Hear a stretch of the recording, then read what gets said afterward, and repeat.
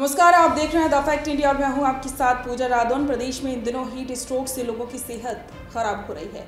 इससे एक मरीज़ की मौत भी हाल ही में हुई है। चिकित्सा विभाग ने आंकड़े जारी करके इसकी पुष्टि भी की है। चिकित्सा विभाग के अधिकारियों ने जानकारी दी है कि आंकड़ों के अनुसार प्रदेश में एक मार्च तक नब्बे हज़ार तीन सौ छियासी लोग इलाज के लिए सरकारी सेवा की इमरजेंसी में पहुँचे थे। उनमें से 2809 मरीज़ हीट स्ट्रोक से ग्रस्त थे। हीट स्ट्रोक की वजह से अजमेर ज़िले की रूपनगढ़ निवासी की एक मरीज़ की मौत भी हो गई है।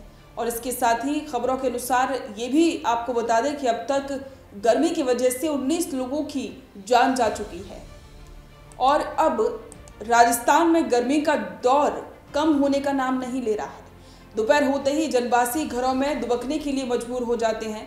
हालात ये हैं कि मरुधरा में इस बार गर्मी ने सारे रिकॉर्ड तोड़ दिए हैं। नौतपा में पश्चिमी राजस्थान में फलौदी में पारा उनचास डिग्री के पार पहुँच गया। तो वहीं इससे सटे बाड़मेर और जैसलमेर में भी तापमान 48 डिग्री के पार चला गया।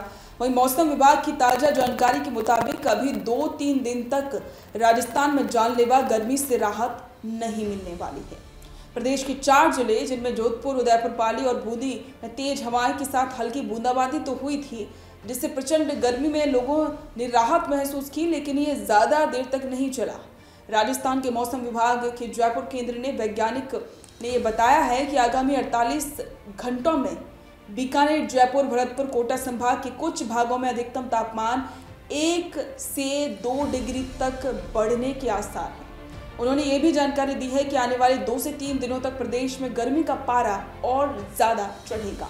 लेकिन 29 मई से राज्य के कुछ हिस्सों में अधिकतम तापमान दो से तीन डिग्री सेल्सियस की गिरावट होने की भी संभावना है। मानसून को लेकर भारतीय मौसम विभाग की ताज़ा जानकारी के मुताबिक दक्षिण पश्चिम मानसून के एक जून तक केरल पहुँचने की उम्मीद है। हालाँकि राजस्थान को अभी इसके लिए और ज़्यादा इंतज़ार करना होगा।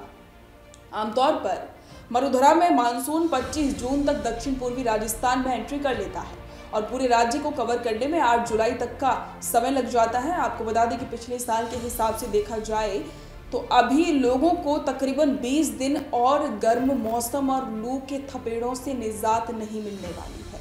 यदि पिछले साल के समय के अनुसार मानसून ने इस बार भी सही समय पर राजस्थान में दस्तक दी तो केवल कभी कभार होने वाली मानसूनी बारिश से ही राजस्थानियों को अस्थायी तौर पर राहत मिलेगी। और इसी के साथ अंदाज़ा ये लगाया जा रहा है कि गर्मी के प्रकोप से सही राहत जून के आखिर से पहले नहीं मिलने वाली है। जब तक मानसून पूरी ताकत से राजस्थान में नहीं आ जाता, तब तक गर्मी से राहत नहीं मिलेगी।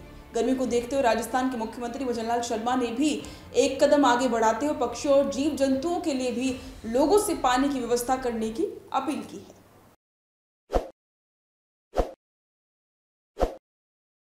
ताज़ा खबरों के लिए विज़िट करें द फैक्ट इंडिया की वेबसाइट और डाउनलोड करें द फैक्ट इंडिया ऐप।